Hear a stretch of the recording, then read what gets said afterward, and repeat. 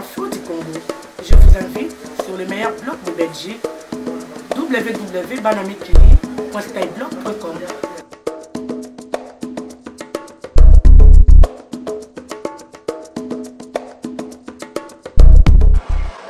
Amis de la diaspora, Banami Kili, votre humble serviteur qui vous a toujours servi. Aujourd'hui, il reçoit pour vous le président Mokia. Et avec le président Mokia, nous allons parler au moins de quatre points, trois ou quatre points. Tout d'abord, de son incarcération à la prison de Makana. Il doit nous expliquer l'expérience vécue en prison et autres points d'actualité. Bonjour, Président. Bonjour. Président, veuillez expliquer aux Congolais de la diaspora Ouais. l'expérience vécue à la prison de Makala. Non, une expérience très malheureuse. Je, ne- je les mets quand même à la disposition de notre public, mais ça n'a rien à voir avec ce qu'on appelle prison. Ça, c'était centre de concertation. Même sous les Belges, ce n'était pas comme ça comme. C'était un endroit de détresse. Si je suis entré là-bas et sorti tel que vous me voyez, c'est-à-dire que je me suis comporté en beau-père de famille.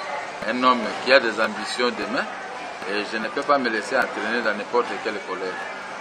Ce n'est pas un beau lieu pour vivre. Il n'y a rien à manger, il n'y a pas moyen de se faire soigner. Il faut avoir toi-même tes propres moyens. Les quatre ans que j'ai vécu là-bas, c'est catastrophique. Catastrophique, euh, président Mokia, on vous a mis en prison, vous avez raté les élections et vous étiez en prison. Comment vous avez suivi l'évolution du déroulement des élections de novembre 2011 Non, avec regret parce que celui qui a gagné les élections, on l'a privé. On a proclamé quelqu'un d'autre. Mais Dieu lui-même, il sait. Il paiera à chacun selon sa justice et fidélité. Nous pouvons tromper, tromper, mais Dieu ne trompe pas, mais il connaît, il frappe toujours. C'est-à-dire que j'ai vécu ça moi-même. Je croyais que derrière moi, il pouvait y avoir des gens pour briguer la magistrature suprême. Mais quand les vieux Tshisekedi est rentré de l'Europe, je suis arrêté. Lui, en étant convalescent, il est rentré et directement il s'est mis debout. Il a fait une très belle campagne que les autres n'ont pas pu faire. Ah, je dis Dieu merci. Dieu merci, on a quand même quelqu'un qui doit faire notre honneur, l'honneur de de l'opposition. Et il a réussi. Il a réussi, ça c'est un monsieur, un leader à féliciter. Je ne peux pas le flatter, je n'ai pas l'art de flatter. Vous n'avez pas l'art de flatter, mais il vous a reçu pas plus tard qu'hier, le président Mokia. Comment sentez-vous euh, par cette réception et que- qu'est-ce que vous avez, les points que vous avez discutés, qu'est-ce que ça vous a amené, président? Non, je ne peux pas étaler les points vraiment à la place publique. Mais d'emblée, je vous dis seulement, il m'a demandé trois choses. Nous avons discuté pourquoi moi je suis arrêté?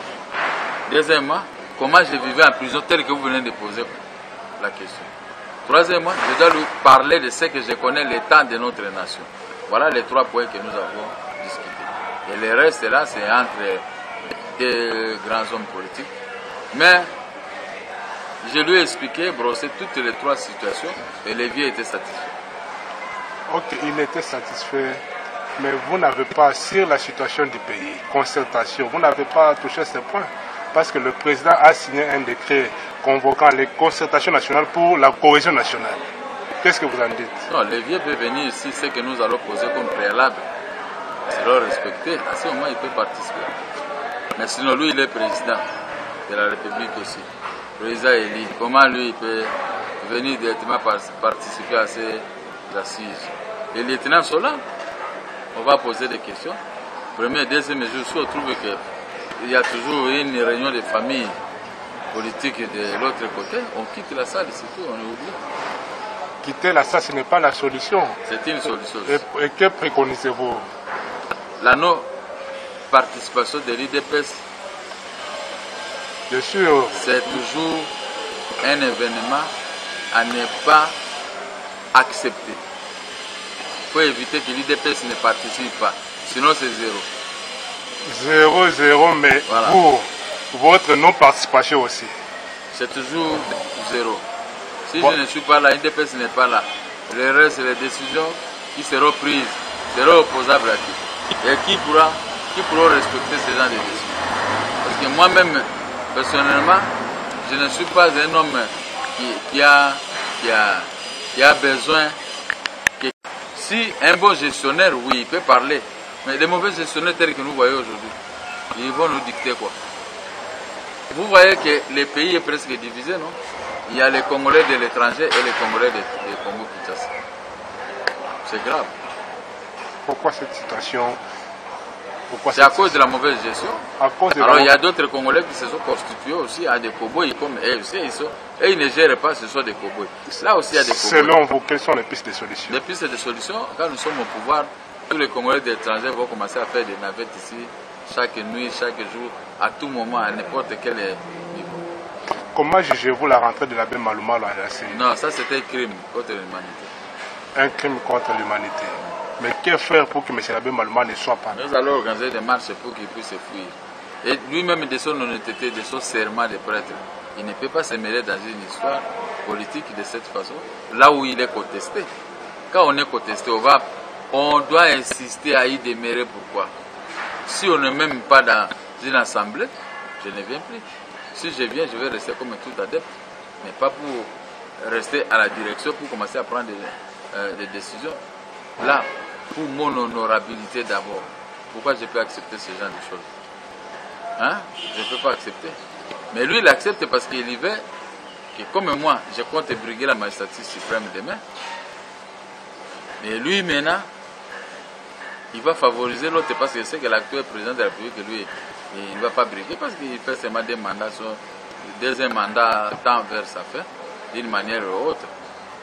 Mais, mais, mais Alors comment lui doit...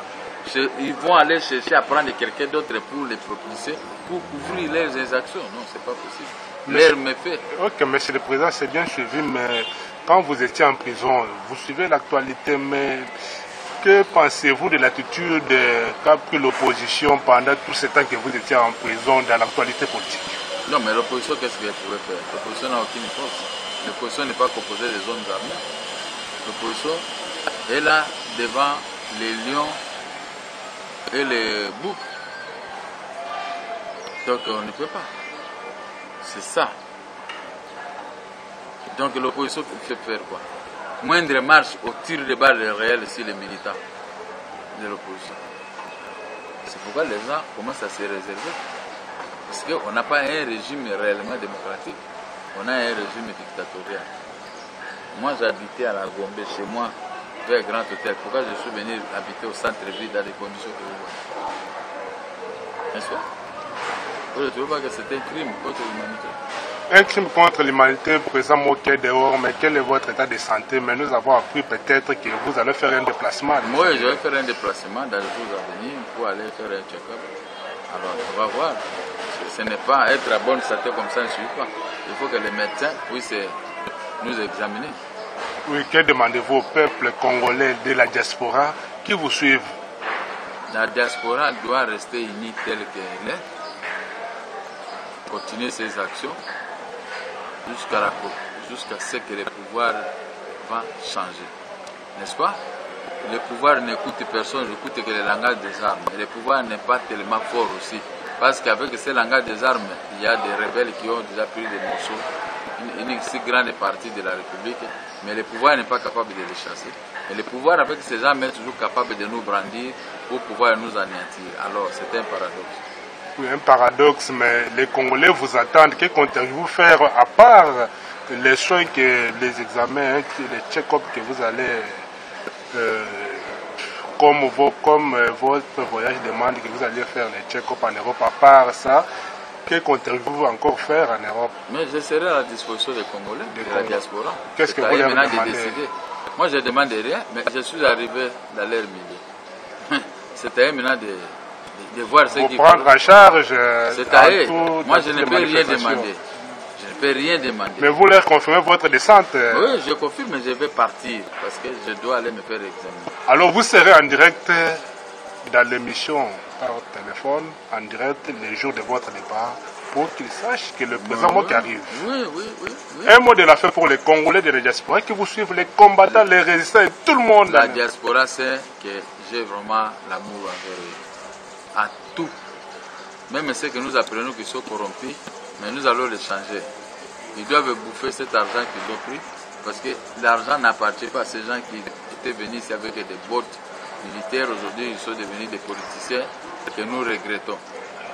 Ils doivent se prendre en charge pour mettre fin à ce genre de régime où la dictature est devenue monnaie courante.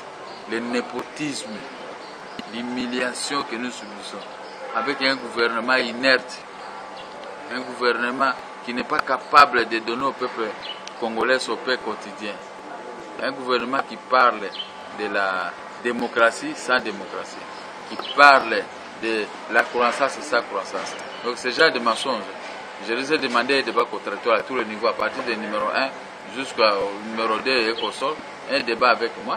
Comme ça, je vais comprendre dans tel, tel, tel domaine ce qu'ils font. Ok, Président Mokia, c'est la fin de notre entretien, mais nous serons chaque fois à côté de vous pour informer la diaspora. Mais pour votre déplacement, vous le peuple d'abord, soyez toujours en ligne. On est ensemble. Daniela, la liste a continué. On a c'est l'émission de la diaspora. C'est les journalistes des combattants. Il n'y en a pas deux, c'est les seuls. On est ensemble. Merci, Monsieur le Président. C'est moi qui vous remercie. bengana ye bobengana ye botosa ye te botosa nde président eli etienne tshisekedi wa molumba